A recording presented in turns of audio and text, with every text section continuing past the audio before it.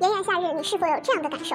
别人都穿得性感无比，而你只能坦坦荡荡。你是否还有这样的感受？每次去内衣店买内衣的时候，导购都会默默地拿出一条 A 罩杯的内衣给你。你是否还有这样的感受？你的胸太小了，我觉得我不合适，我不想和男人谈恋爱。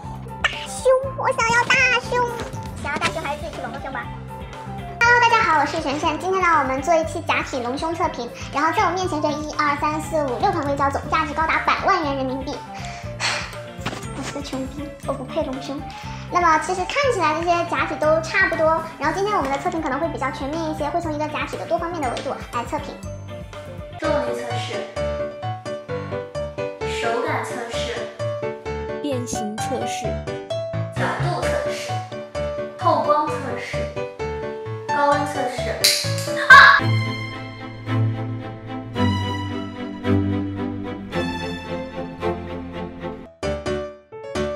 内容提要：如果你没有时间看完全程，可以跳着看哟。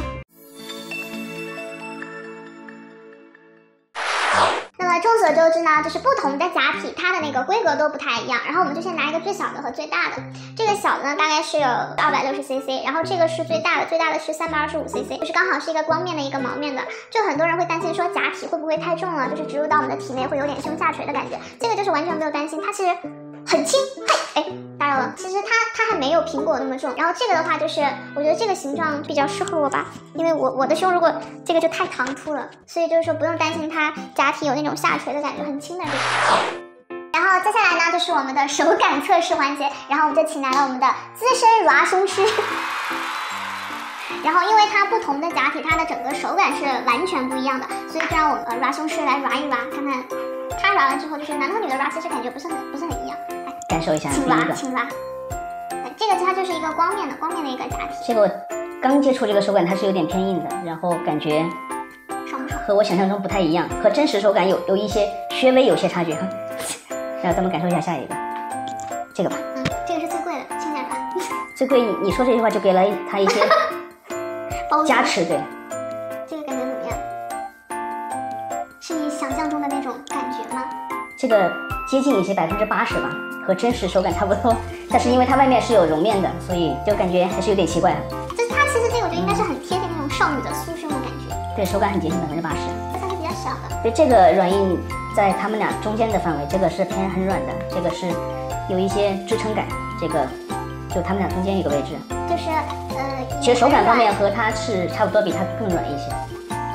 因为那个好像会有点小，对，太小了，太小了，无法做评价。哇哦，这个这个看到的这个笑容，我的天，太羞耻了。这个很过瘾。然后我个人感觉哈，这个是里面手感最好的一个。因为它大嘛，对，但是它这个很平啊，就没有这种凹凸感。我觉得这个其实摸起来手感比较好，可能这就是所谓的直男吧。sorry，直男眼中大就是最好的。对，因为可能它也是光面的原因，所以对，可能就是因为光面和毛面它最大的差别是光面摸起来它其实没有那种毛面的那种好像有对对对点雾的感对，觉。而且这两款光面，这个要稍微没没那个舒服一些，这个感觉要说白了还，是这个大嘛。对，舒服。大就是最好的哈。最后我们的资深 RA 胸师给出来的鉴定就是，大就是最好的。就可能这边要大一些，这边要小一些，但是摸起来啊，真的好爽，就是真的很舒服。我觉得，我觉得是和真的胸没有什么太大的差别。虽然说现在还没有完全的通过手术的方式放到我的那个胸大肌的后面，但是现在摸起来真的很舒服，就啊好软啊，就是想奋力的 RA 它，这好大的沟，好大的沟。然后接下来呢，我们就做一个假体的变形测试，我们就挑一个呃这六个里面最贵的这个，这个是奥诺拉，就是可能在普通地区吧，这个大概是八万到十万左右的一个价格。一对哦，然后就是还有很多人会问，就是说，呃，这个假体会不会说被捏爆啊、捏碎这种情况？如果说你们的男朋友他的手力度很大，会不会就是说把它拉爆？但其实并不会，它这个承重量就是比如说什么卡车去碾它呀，或者是我们用脚去踩它、去拍它，它都不会都不会爆的。这个是官方认证的，大家就是会顾虑到它的这个。这个形状的问题嘛，然后我们就请我们的 RA 胸师来给大家做一个比较有公信力的一个测试。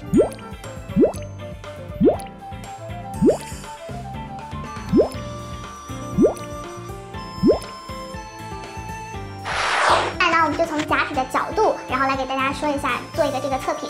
然后我们现在没有拿到那个水滴型的假体，就用圆形的先给大家说一下，就是现在的假体它不会像以前那样，呃，它就是做完之后它会固定，不会随着人体的这个自然的运动而流动。但是它现在的假体就是，比如说你站着啊、躺着啊，或者是蹦啊、跳啊这种假体都会随着你的身体的律动而变化的。所以就是大家可以不用担心，我会不会躺下或者是站起来都是一个形状，就会看起来很假那种，完全不会。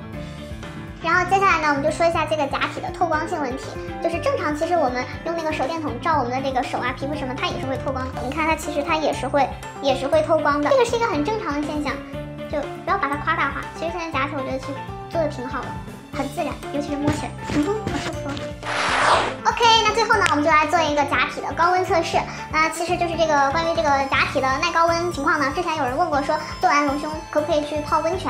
那正常其实我们那个泡温泉的水温大概也就是在四十度到七十度左右，而且这个假体呢，它是放在我们的胸大肌的后面，就即使你感觉到它的温度可能会高一些的话，你自己也会从那个温泉池里面走出来，不会在里面死泡，对吧？